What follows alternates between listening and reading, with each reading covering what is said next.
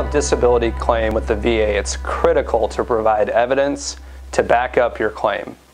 One type of evidence is a statement in support of claim, or more as it's commonly known as a buddy statement. This letter can provide important evidence that substantiates the location of the event that caused your disability, when the event occurred, and the details about the incident. Typically, there are two types of buddy statements you can provide with your claim. Those written by military coworkers and those written by friends and family members. While each type of statement has a different purpose and focus, both can be beneficial for your claim. An accredited veterans lawyer can help identify the issues with the need to prove your statement. Sometimes events that take place in combat are never recorded by a military unit.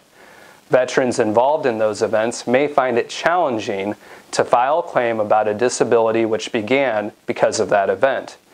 Having a coworker buddy statement from someone who experienced the event alongside you or witnessed your involvement can be very helpful it should detail as much as possible about the event, how it has impacted you and changes in behavior or physical health, and the type of treatment you needed. A buddy statement from friends and family members will be quite different. Because these people didn't serve in the military with you, the focus of their letters is on how the disability has impacted your life and relationships. Typically, the content will detail your personality characteristics before military service and compare them to how you are now. The letter should pinpoint changes in behavior, how the disability impacts your daily life and activities, and if the disability has negatively impacted the relationships you have with your spouse, children, and friends.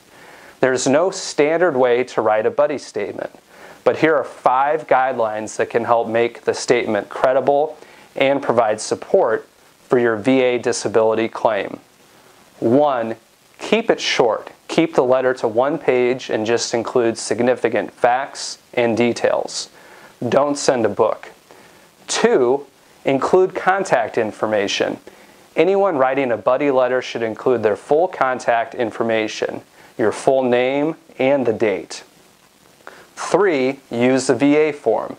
The buddy statement writer can handwrite or type the statement on the VA form. However, it's completely acceptable to submit a buddy letter on a normal letter size piece of paper.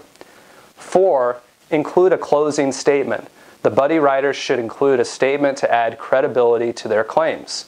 If the author isn't using the standard VA form, they should include this sentence at the end of the statement.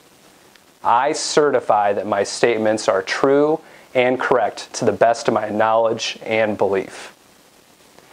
And five, don't spoon feed the author. Don't tell them what you want to have written about you.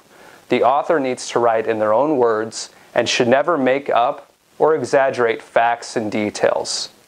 If you are seeking VA disability benefits for a service related illness or condition, we can help you navigate the complex VA disability process, including guidance on how to get the right buddy statements contact us for a free evaluation of your situation.